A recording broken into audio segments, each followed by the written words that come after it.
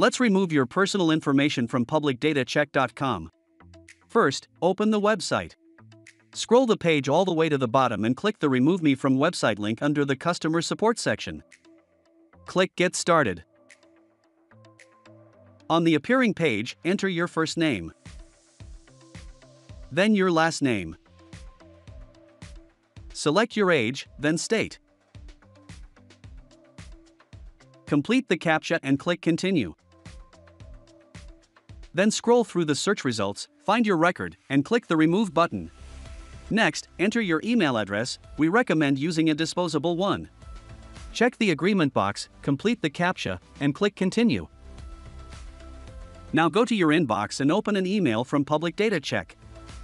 Finally, click the verification link. Your request has been submitted. But don't stop there. Hundreds of other data brokers profit from selling your personal information. Head to OneRep.com to remove your data from these sites automatically and hassle free. OneRep scans data broker sites for your profiles and sends opt out requests on your behalf. Sign up for free and get an instant report with a list of sites that expose your private information,